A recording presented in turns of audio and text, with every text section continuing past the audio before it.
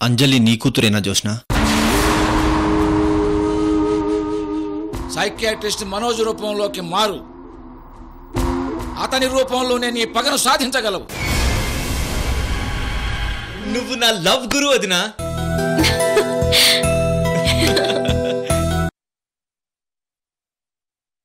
కానీ మీరు మాత్రం మీ హోదాకి తాహతకి సరితూగని కోటి ఇంటికి మీ బిడ్డను కొడలుగా పంపిస్తున్నారు.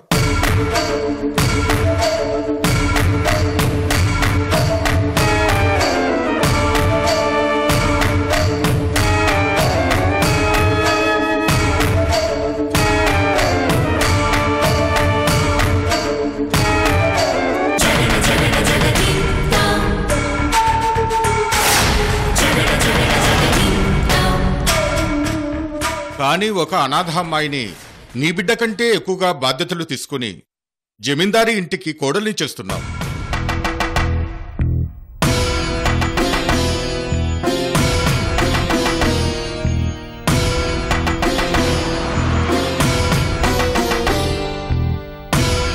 ఏం చెల్లమ్మా నేను చెప్పింది నిజం కాదా?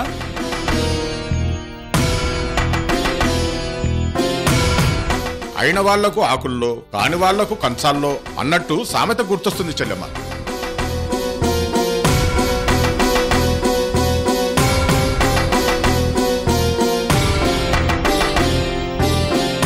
భలే అడిగారు ప్రెసిడెంట్ గారు. ప్రెసిడెంట్ గారు మీ పాయింట్ నాకు అర్థమైంది. ఒక్కగానొక్క కూతురు. నాకంటే ఆర్థికంగా ఉన్న మంచి కుటుంబానికి పంపాలని తండ్రిగా నాకు ఉంది.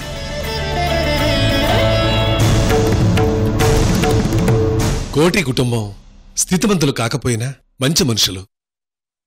అబ్బాయి కూడా మంచివాడు కాబట్టి నా బిడ్డ సంతోషంగా ఉంటుందన్న నమ్మకంతో ఈ సంబంధం చూశాను.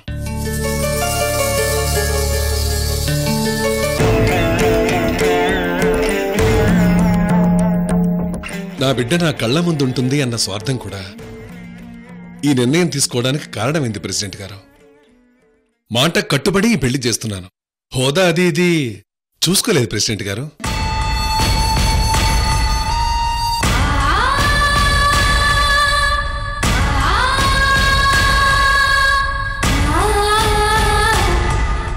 అయినా ఆడపిల్ల అదృష్టం ఎప్పుడు ఎలా ఉంటుందో ఎవరికి తెలుసు అన్నయ్య? అది కూడా పాయింటేనమ్మా. కాకపోతే నా ఉద్దేశం ఏంటంటే ఎలాగూ కృష్ణవేణి ఆ ఇంటి కూడలే కదా. కాబట్టి అలివేణిని అరవింద్కిచ్చి ఎందుకు పెళ్ళి చేయకూడదు అనుకున్నాను.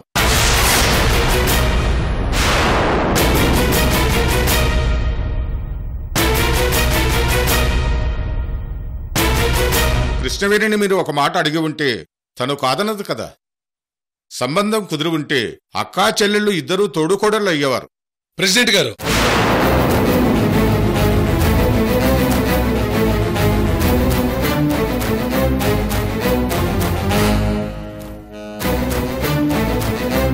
రావుగారు క్షమించాలి. నా నోటి దురుసు సంగతి మీకు తెలుసు. మీకు కోపం తెప్పించుంటే క్షమించండి. కోపం గురించి కాదు నా బాధ. సంబంధం గురించి నేను వెళ్ళి కృష్ణవేణి అడగటం ఏంటి?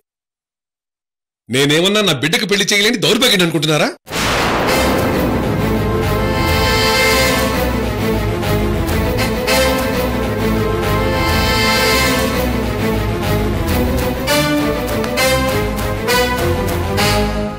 మీకు తెలియదు కాబట్టి చెప్తున్నాను. అంజలి అరవిందులు ప్రేమించుకున్నారు. ఓహో అదా పాయింట్. అయ్యో నాకు ఈ విషయం తెలియదు బావుగారు. క్షమించండి. అందుకే వాళ్ళిద్దరు పెళ్ళి చేస్తున్నాను. అది అంజలి అదృష్టం. ఆ దేవుడు రాసి పెట్టాడు కాబట్టి ఆ అమ్మాయి ఆ ఇంటి కోడలవుతుంది.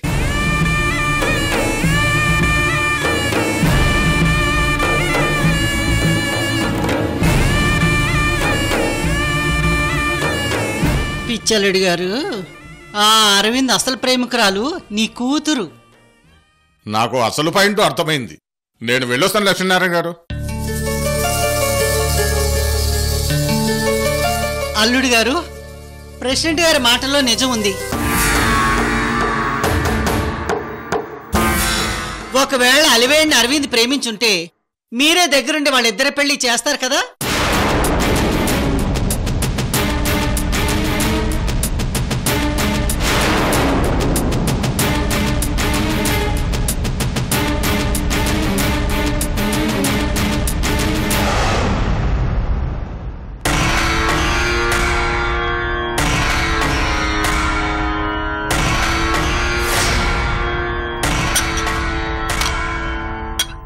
ఒసే అంజలి కృష్ణవేణి విడిదింటికి రాగానే నీ బండారం బయట పెట్టి నిన్ను ఉతకడం మొదలు పెడుతుంది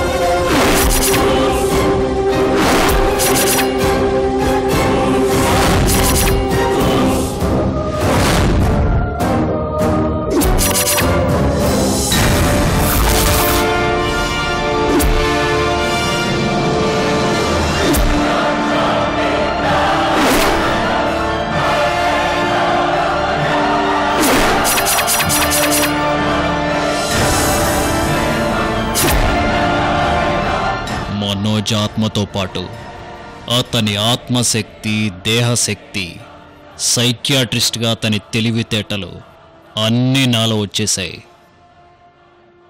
ఒక్క కళ్ళు మాత్రం మార్చుకోవాలి.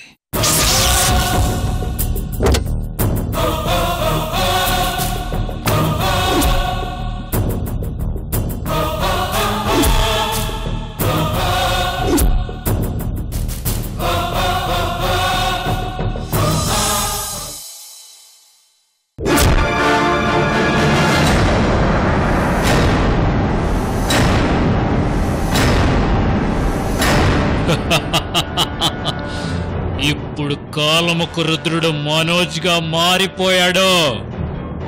జనక జనారే!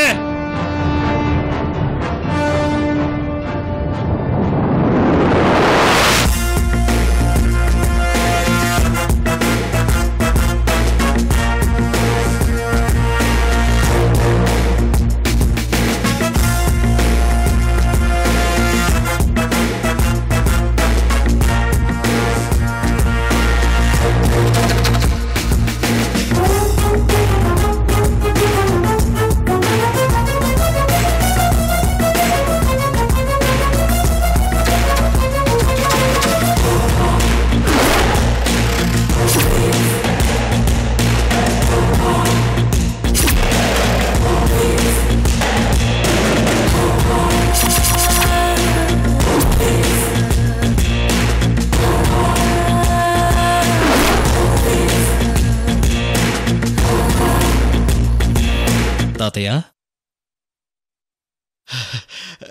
రాజగోపాల్ మనోజ్ వచ్చాడు.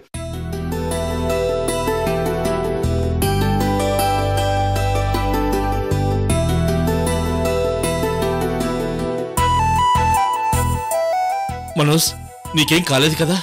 నేను క్షేమంగానే వచ్చాను నాన్న. ఆ దుర్మార్గులు నేను కాలముఖరుద్రుడిగా మార్చేస్తానన్నారు. వాళ్ళు అనుకున్నదేదీ జరగలేదు నాన్న.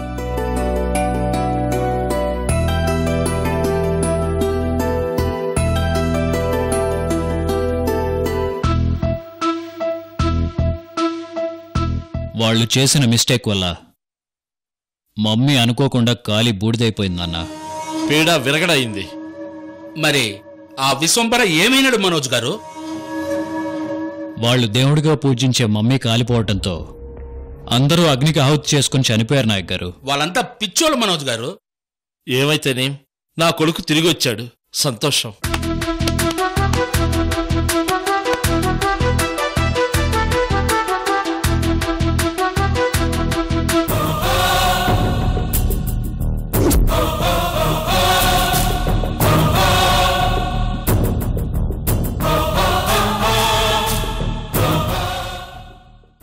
మనోజ్? ఏం తాతయ్య? నువ్వు త్వరగా వంశీకి ట్రీట్మెంట్ మొదలుపెట్టి అతన్ని క్యూర్ చేయనాయన అలాగే తాతయ్య. ఆ తర్వాత మన ముగ్గురం కలిసి హాయిగా యుఎస్ వెళ్ళిపోదాం. అలాగే తాతయ్య.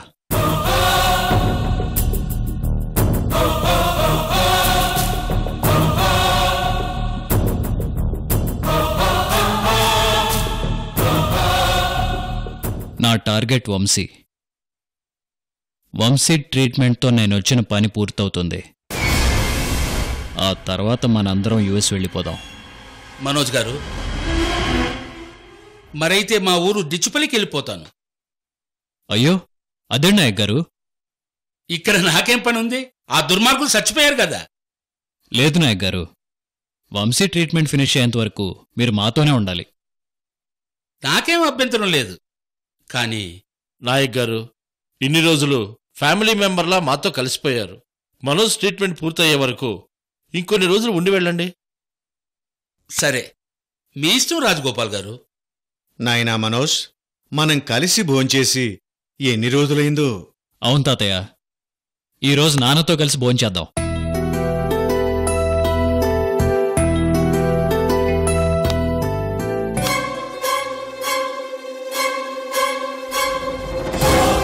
ఏయ్ కృష్ణవేణి. అస్సలు సిసలు కథ ఇప్పుడు మొదలవుతుంది.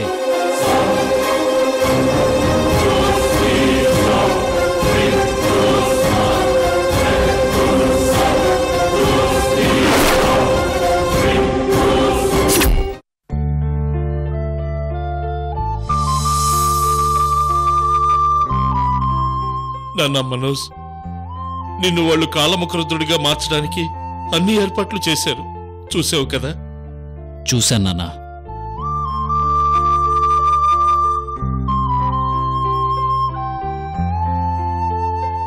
నిన్ను చంపి నీ రూపంలో కాలముఖరుద్రుడు వస్తాడు. తెలుసు నాన్న. ఇన్ని తెలుసు కూడా ఎందుకురా వచ్చావు? కాలముఖ రుద్రుడిగా నేను మారతానా లేదా అనేది పక్కన పెట్టండి. ఒకవేళ నిజంగానే నా ప్రాణం తీసి నా బాడీలోకి కాలముఖ రుద్రుడు వస్తే మిమ్మల్ని అందరినీ చంపేస్తాడు.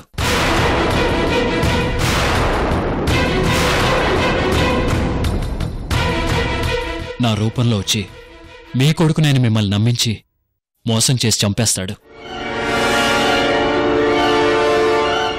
అందుకే వీళ్ళ యజ్ఞం ఫలిస్తే కాలముఖ రుద్రుడు ఇంటికొస్తాడు.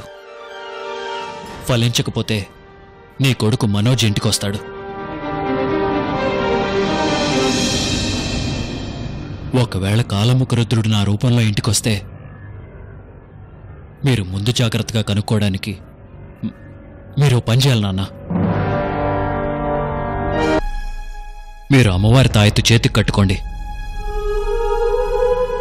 ఒకవేళ నేనొస్తే మీ చేతికున్న అమ్మవారి తాయెత్తు తీసి నా కట్టమని అడుగుతాను. ఒకవేళ నేను అలా అడగలేదనుకోండి ఖచ్చితంగా వచ్చింది నేను కాదు. ఆ కాలముఖ రుద్రుడు గుర్తుపెట్టుకోండి. అంటే మనోజ్ వస్తే అమ్మవారి తాయెత్తి గురించి అడిగేవాడు. అడగలేదంటే ఇప్పుడు వచ్చింది నా కొడుకు మనోజ్ కాదు. కాలముఖ రుద్రుడు భగవంతుడా ఇప్పుడు నేనేం చెయ్యాలి?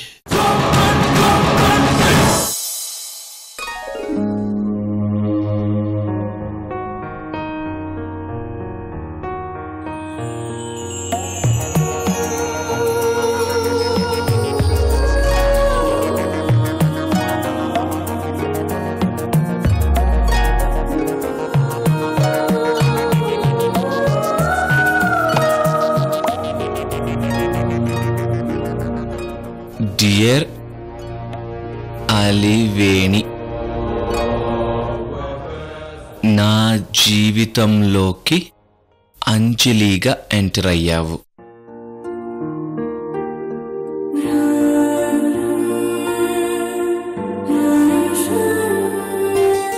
స్నేహం చేశావు. ప్రేమను పుట్టించావు.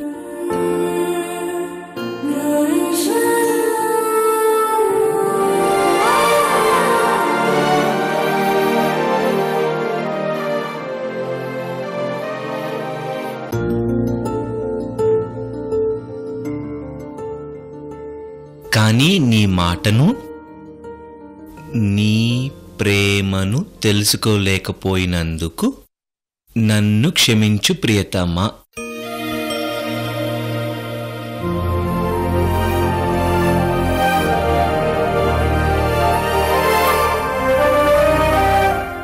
డియర్ అలివేణి నా ప్రేమికురాలివి నువ్వు కాదని అంజలితో తిరిగాను. నిజంగా నిన్ను ఎంత మిస్ అయ్యానో? అసలు నువ్వు ఎంత బాధపడుంటావో? ఇప్పుడు తలుచుకుంటే గిల్టీగా ఉంది డియర్. కళ్ళకు ఒత్తులు వెలిగించి కలలకు రెక్కలు తొడిగి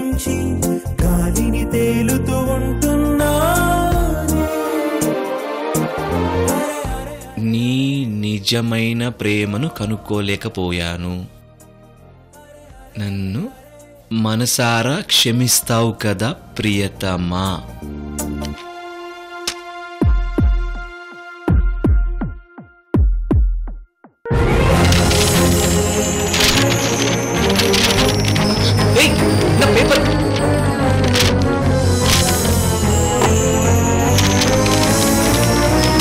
అయ్యో నా లెటర్ ఎగిరిపోతుంది. అరే నా లవ్ లెటర్.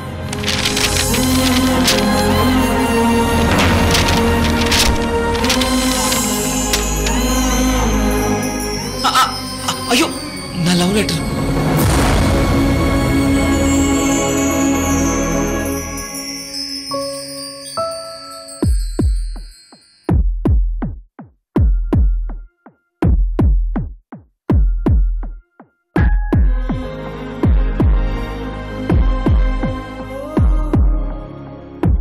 మై గాడ్ అందులో డియర్ అలివేణి అని రాశాను.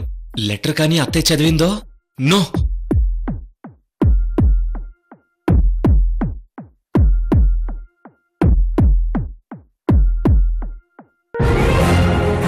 అత్తయ్య అది నా లెటర్. ఏంటి? అంజలికి లవ్ లెటరా? అత్తయ్య ప్లీజ్ అది నాకు ఇచ్చేయండి. ఇవ్వను. ఇంట్లో అందరిని పిలిచి లవ్ లెటర్ గట్టిగా చదువుతాను.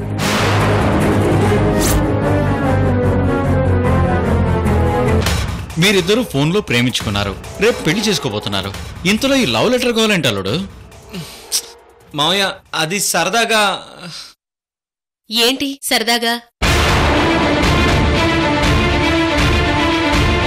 వదినా మన అరవింద్ అంజలికి లవ్ లెటర్ రాశాడు. అది గాలికి ఎగురుతూ వచ్చి నాకు దొరికింది. వాణ్ణి ఆట పట్టిస్తున్నావా? ఆ లవ్ లెటర్ వాడికి ఇచ్చే మయూరి. వదినా అరవింద్ని మనం మోస్ట్ రొమాంటిక్ ఫెలో అని బిరుదిచ్చాం కదా. అవును. చిన్నప్పటి నుంచి వాడి థాట్సే సెపరేట్. చూసావా? ప్రేమించి పెళ్ళి చేసుకోవాలనుకున్నాడు. అమ్మాయిలకు అరవింద్ డ్రీమ్ బాయ్. అదే మీ డ్రీమ్ బాయ్ ఎంత రొమాంటిక్ బాయో మీకు తెలియాలంటే ఈ లెటర్ చదవాల్సిందే.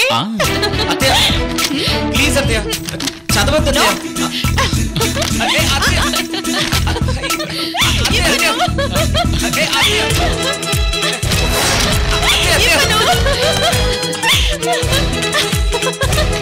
అత్తయ్య. ప్లీజ్ అత్తయ్య. నో అత్తయ్య లెటర్ చదవకండి. మీరు ఏది అడిగినా ఇస్తాను. నేను లెటర్ చదివే తీరుతాను. అరవింద్ మీ అత్తయ్య నువ్వు ఇద్దరూ పోట్లాడుకోండి. నేనైతే నీ లవ్ లెటర్ వినను ఓకేనా? అత్తయ్య! డియర్.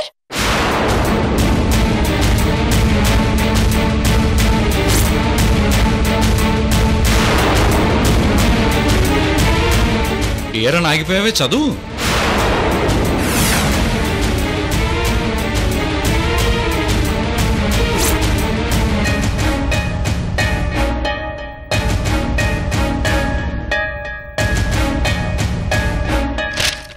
థ్యాంక్స్ అత్తయ్య బాయ్ అరవింద్ ఆగు.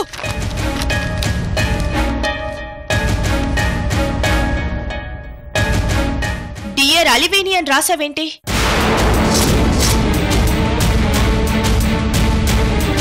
నువ్వు ప్రేమించింది అంజలిని పెళ్ళి చేసుకోబోయేది అంజలిని. మధ్యలో ఈ అలివేణి ఏంటి? అయ్యో లేదత్తయ్య నేను డియర్ అంజలి అని రాశాను కదా.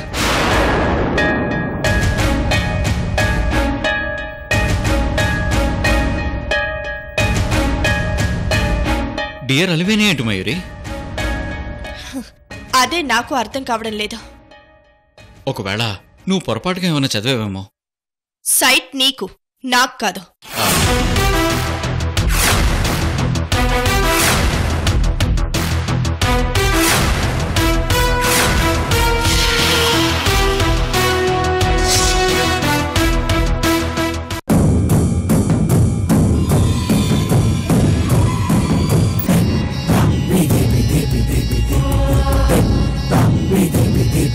Yeah.